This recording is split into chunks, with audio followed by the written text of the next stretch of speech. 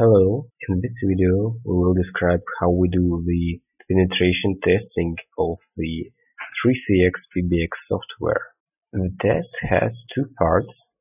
The first part is control of quality of service. Here the Starfinity SIP tester generates real VoIP calls between extensions, checks the audio quality and generates reports. Here we see that the SIP tester is configured to register on the six extensions and make calls between the extensions using a custom call XML script. Here is the script. The script starts with call between extensions. When the call is answered, the software waits for 10 seconds and plays speech.wav audio file and at the same time it starts audio verification. It expects to receive the exactly same audio file back to the caller side because in the incoming call XML script we see that the SIP tester accepts the call immediately and plays the exactly same audio back to caller side through the PBX. So the outgoing script verifies audio against the reference file. Measures audio quality and saves results into confidence XML variable and it also measures round trip delay. If a measured quality is below 97%, the SIP tester saves the recording into debug media folder. It is configured here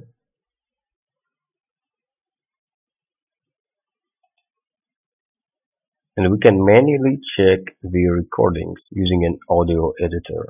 We see that this file is silent, which is wrong. These two audio files are a result of an old test when the PBX was not correctly configured. And for current test, there are no bad recordings. Pickle XML script saves measured quality, confidence score, from 0 to 100 and delay in milliseconds into CDR into custom headers.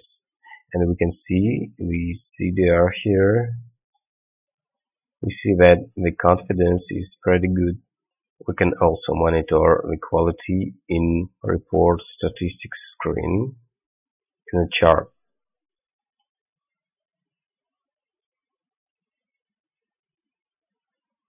two most important indicators of this test are confidence, which means audio quality, and answer delay, which indicates how fast the call is answered and the connection is established. We see two small peaks of 100 milliseconds. It is normal. Okay, I have explained to you how the quality testing server works and now I will explain you how we do VoIP attack. In the current penetration test, we presume that the attacker already knows usernames and passwords of few VoIP accounts and he is able to register and make calls between the extensions as it is done in the previous server.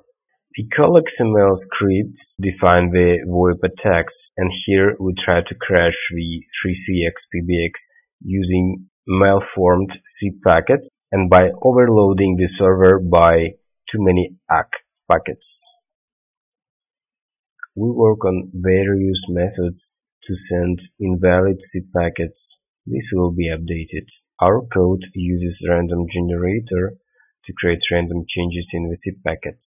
In our log, we see that SIP-tester transmits malformed SIP packets like this.